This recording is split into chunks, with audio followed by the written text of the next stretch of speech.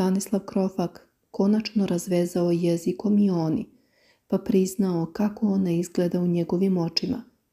Nakon čega je Jovanovićeva priznala sve ono što ne sme od ša. Miona Jovanović gostovala je u Šiša baru kod Darka Tanasijevića, gde je komentarisala svoje sukobe sa Nenadom Aleksićem Ša i Stanislavom Krofakom. Što se tiče celog izlaganja u petak, ja sam bila sluđena, nenaspavana. Zapetljala sam se, rekla je mi ona, pa se osvrnula na Stanislava i njegov boravak u beloj kući. Nosim se fino, ne razmišljam o njemu, da li se snašao. To je bilo samo u startu, kada sam pričala Nenadu, ali on se snašao. Ja nisam brinula o njemu, ali moram da kažem da osoba pored mene, kao što je Nenad, meni je normalno da čestitam Stanislavu rođendan. On meni ništa loše nije uradio, a ovdje bih neprijatelju čestitala rođendan, a ne svom bivšem momku, rekla je Miona. Mnogi komentarišu da pokušavaš da opereš sebe, pa iznosiš neki prljave veš između tebe i Stanislava. Ja sam bila nesigurna u njega. Nisu tu bile poruke gdje je on potencirao nešto.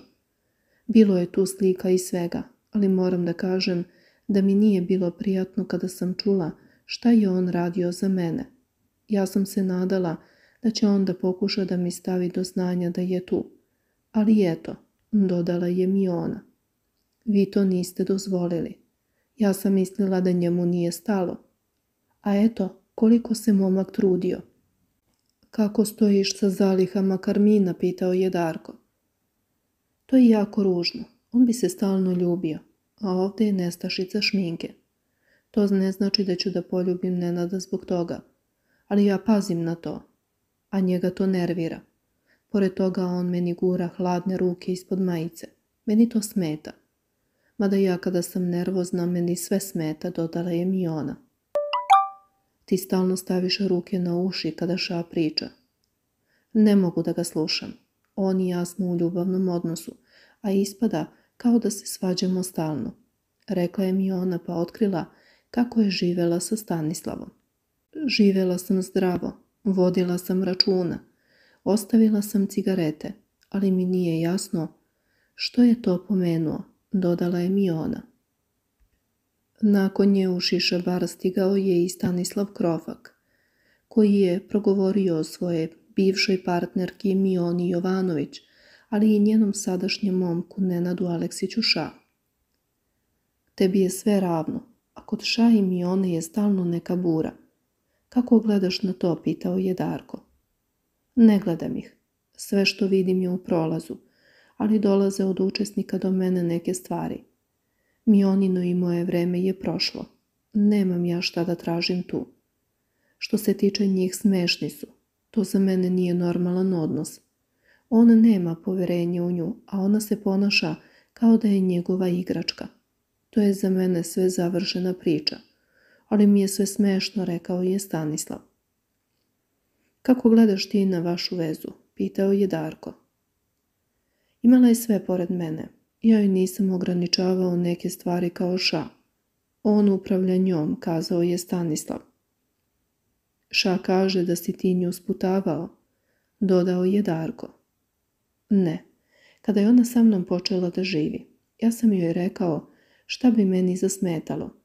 Ja joj nikada nisam branio da gleda gde hoće i govori šta hoće. Mi ona sada i da hoće da pričamo, nikada ne bih pričao sa njom. Ko je ša da njoj brani da priča sa mnom? Mi smo skoro dve godine bili zajedno, a osam mjeseci smo živjeli zajedno. Nije to malo. Da sam na njenom mestu ja bih makar iskoristio moment ispoštovanja da dođem. Kažem da sam se zaljubio, ide život dalje, rekao je Stanislav. Da li smatraš da mi ona time što ne želi da bude intimna sa ša, ostavlja prostor da joj ti oprostiš, pitao je Darko. Ne, kako ja da pređem preko toga što jedna devojka daje da jedan ša odlučuje o tome šta će ona raditi. Ona nema svoje ja.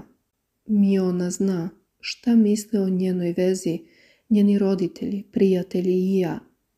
onda se pravi luda da to ne vidi, kazao je Stanislav. Misliš li da se ona kaje zbog svega? pitao je Darko.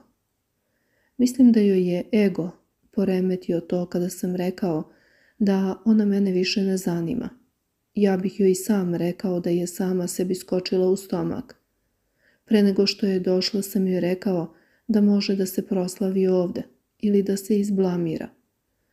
Ona je sebe nakon mojih reči dovela u ovakvu situaciju, istakao je Stanislav.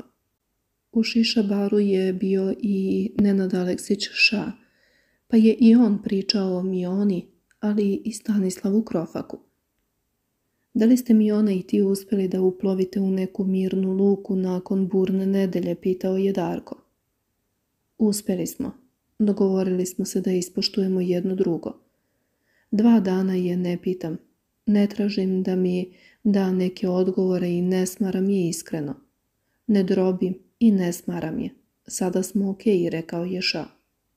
Stanislav je devet dana u eliti. Da li ti je teško biti sa njim, bivšim, u istom prostoru, pitao je Darko. Jako je teško, ali nisam ljubomoran. Njega gledam kao bilo kog drugog reality učesnika, iskreno. Pre nego što je on bio ovde. On je bio naša tema, zbog njega smo se svađali. Međutim, momak je jasan i direktan. On je veoma jasan, kazao je Ša. Da li ti se čini da je on jasan, a da mi ona to nije, pitao je Darko. Ume da bude nekad osoba koja ne kaže sve do kraja. Čudnjikava je. Ima to namčarasto ponašanje, ali pokušavam na sve to da se naviknem, iskreno, rekao je Ša. Koliko te boli to što je obazriva dok priča o Stanislavu, a prema tebi nekad ume da bude malo grublja, pitao je Darko. Nije sve to lako. Nekad mi to nije jasno. Zaključio je Nenad. Nakon razgovora u Šišabaru, Ša i Miona su razgovarali i sa Đedovićem.